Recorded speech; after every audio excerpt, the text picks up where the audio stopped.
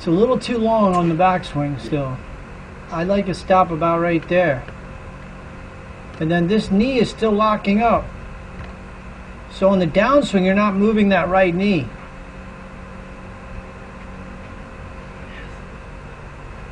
You got to get a little bit more movement out of your lower body to initiate the downswing. Like Jutanugarn. May. Yeah, May, right here. Where is she? There we go.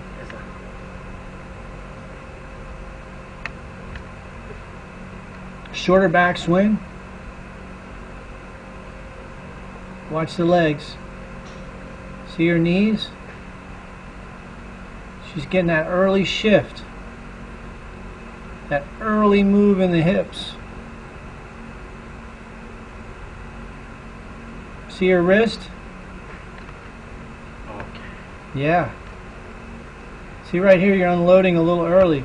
See how you uncock the wrist a little bit early? See if we go back to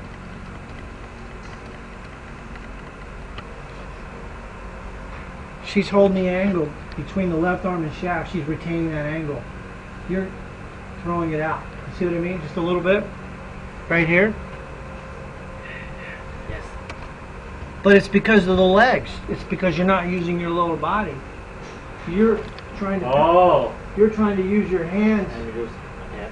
You're trying to go too much this.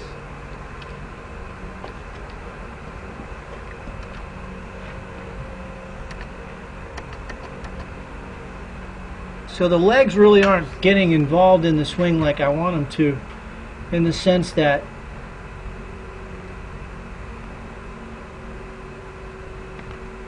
got a great shoulder turn, but not a lot of leg drive. I want to get a little more leg drive.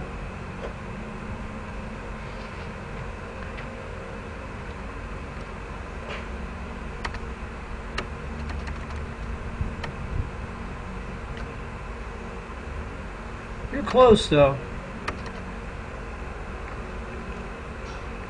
Try to get those legs involved a little more. Just getting that sequence of movement from the top with your